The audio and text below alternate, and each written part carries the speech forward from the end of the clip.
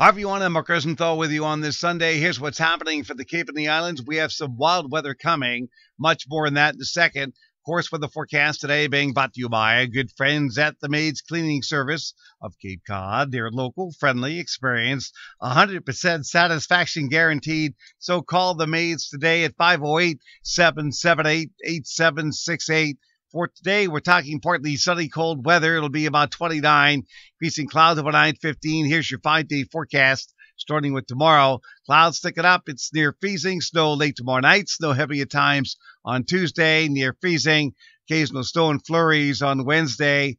It'll be close to freezing. And Thursday, sun, clouds, 36, maybe a touch of light snow on Friday. How much snow we going for? 6 to 12 inches perhaps on the Cape, much more off to our north and west. Of course, this is all dependent on the storm track. We'll keep you posted. For now, I'm Mark Rosenthal. Please stay tuned for updates.